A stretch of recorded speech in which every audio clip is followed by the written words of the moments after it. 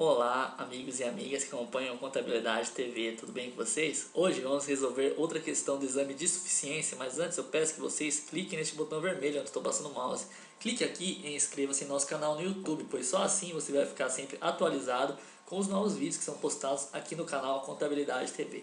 Vale a pena e é grátis. Curta também a nossa página no Facebook, www.facebook.com.br Já teve mais de 10 mil curtidas pessoal bacana aí, estudantes, professores, contadores e tem até auditor lá na página do Facebook. Vale a pena conferir aí, material bacana, desde coisas engraçadas a material didático aí para você poder estudar e aprimorar o seu conhecimento aí na contabilidade. Hoje vamos resolver a questão número 20. O assunto é contabilidade e custos. Caiu no segundo exame de suficiência de 2015, na prova de bacharel. Vamos resolver ela aí juntos. 20. Uma sociedade empresária apresentou no mês de agosto de 2015 os saldos abaixo. Aí aqui do lado esquerdo a gente tem as contas, né? Por exemplo, o estoque de matéria-prima com seu saldo inicial de 18 mil reais e o seu saldo final de 13.500 reais. Estoque de produtos em elaboração com saldo inicial de 9 mil reais e saldo final de 11.250 reais. Estoque de produtos acabados, saldo inicial de 6.750 reais e o saldo final de 33.750 reais. Informações adicionais. Os custos de mão de obra direta foram de R$ 22.500. Os custos indiretos de fabricação foram de R$ 27.000. Não foram feitas compras de matérias-primas no período.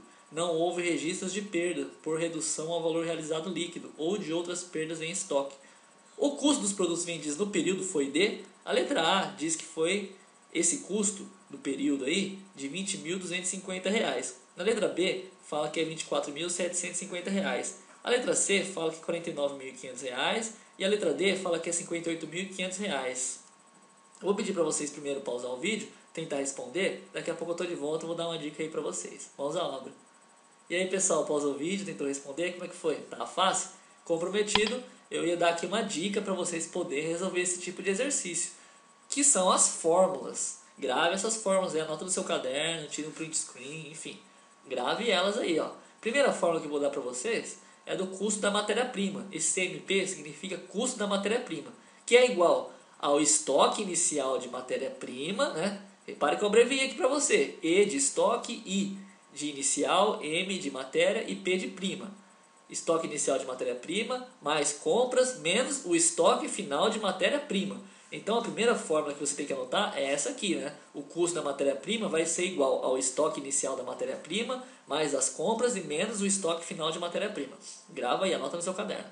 A segunda fórmula que a gente vai usar é a de custo de produção do período, que é igual a matéria-prima, né? mais a mão de obra direta e mais o custo indireto de fabricação. Então, anota essa segunda fórmula aí. Depois a gente vai ter a forma do CPA, que é o custo dos produtos acabados, que é igual a estoque inicial de produtos em elaboração, mais custos de produção do período, né, o CPP, né, que a gente vai descobrir. Esse CPP a gente vai descobrir com essa fórmula aqui de cima, belezinha? Né? Mais o CPP e menos o estoque final de produtos em elaboração. E a última fórmula de todas é o CPV, que é do custo dos produtos vendidos, que é igual ao estoque inicial de produtos acabados, mais o custo de produção acabada, né, o CPA, e menos o estoque de final de produtos acabados. Então vai ser o seguinte, ó, você vai ter o exercício aqui, né, como você reparou, todas essas informações. Você tem aqui a informação do estoque de matéria-prima, você vai ter que descobrir o custo da matéria-prima. Né? Para você descobrir o custo da matéria-prima, você vai usar essa primeira fórmula aqui, é, do custo da matéria-prima. Igual a estoque inicial de matéria-prima, mais compras menos estoque final de matéria-prima. Uma vez descoberto esse custo da matéria-prima, você vai para a fórmula do CPP, que é o custo de produção do período. É, então você vai no exercício aqui, né? E vai pegar ali o custo da matéria-prima, que você descobriu com a primeira fórmula, e né, mais a mão de obra direta, que o exercício ele vai dar essa informação para você, né? E mais o custo indireto de fabricação. Né?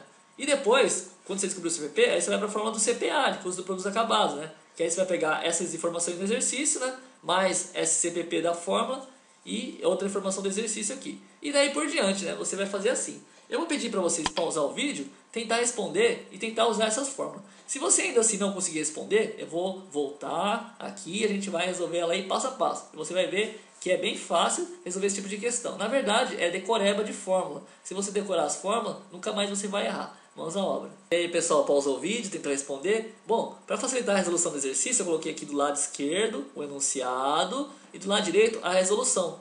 E já está com as fórmulas aqui, aquela mesma fórmula que a gente viu no slide anterior. Né? A primeira fórmula que a gente tem que usar é do custo da matéria-prima, que falava que era o estoque inicial de matéria-prima mais compras menos o estoque final de matéria-prima. Como que vai ficar então? O exercício nos fala que o estoque inicial de matéria-prima é 18 mil reais, né? mais as compras. Só que nesse exercício ele fala que não foram feitas compras de matérias-primas no período, então vai ser zero, né? a gente nem vai colocar. E a fórmula diz que depois vem para você retirar ali, subtrair né, o estoque final de matéria-prima. Coisa que nos fala que é R$ 13.500. Então, 18 mil do estoque inicial de matéria-prima, mais zero de compra que não teve, e menos 13.500 né, do estoque final de matéria-prima, a gente vai chegar no resultado aí de R$ 4.500. Beleza, você anota essa informação aqui, muito importante, né? A gente vai usar na próxima fórmula, que é a do CPP, custo de produção do período, que é igual a matéria-prima mais a mão de obra direta mais o CIF, que é o custo indireto de fabricação. A matéria-prima, a gente descobriu que o custo dela é de R$ 4.500, a gente descobriu na primeira fórmula aqui de cima, né? então a gente copia aqui embaixo. Mais a mão de obra direta. Quanto que é de mão de obra direta? O exercício nos fala que de mão de obra direta foram R$ 22.500, então a gente copia essa informação aqui na fórmula. E mais o custo indireto de fabricação. O custo indireto de fabricação, o nosso CIF, é de 27 mil reais, segundo o exercício, então a gente copia essa informação.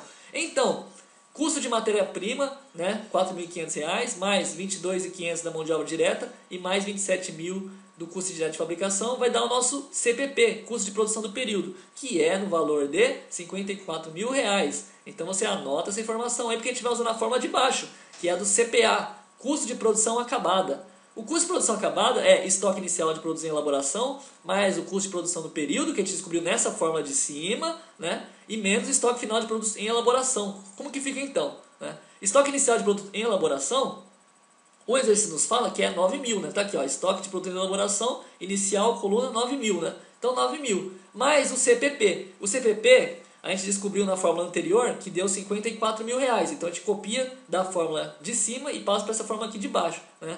E menos o estoque final de produtos em elaboração, no valor de R$ 11.250. O exercício nos fala que o estoque final de produtos em elaboração é de R$ 11.250, né? Então você copia. Daí então, né, 9 mil mais 54 mil menos 11.250 vai dar o valor de 51.750 reais, né?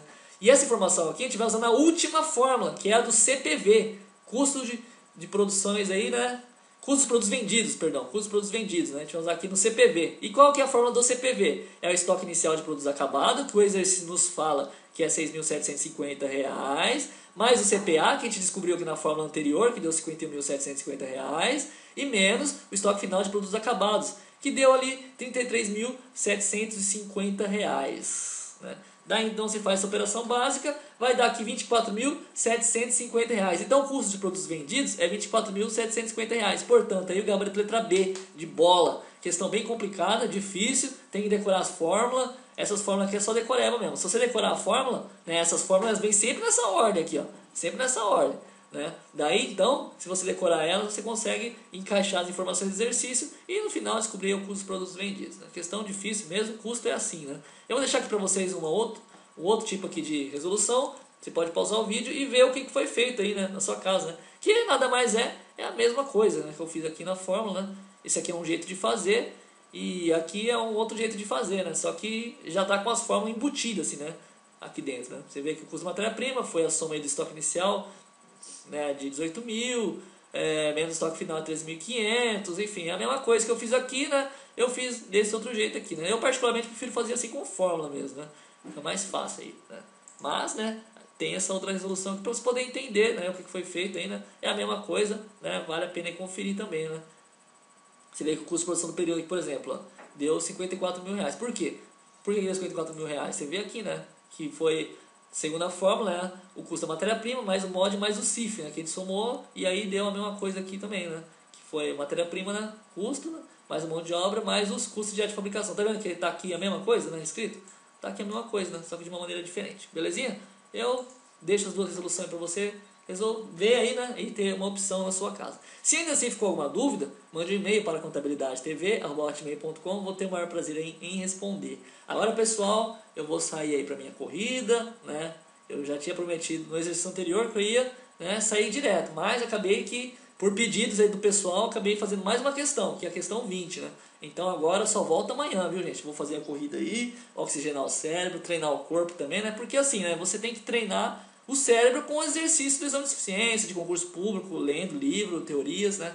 Mas chega uma hora que você cansa, né? né? Então é bom você sair para caminhar, correr, andar de bicicleta, enfim. Né? É bacana mesmo, vale a pena estar tá conciliando os dois, que eu acho que você consegue até melhorar o seu desempenho aí nos estudos. Belezinha? Valeu, Deus abençoe a sua vida e é isso. Até o próximo vídeo. Fui!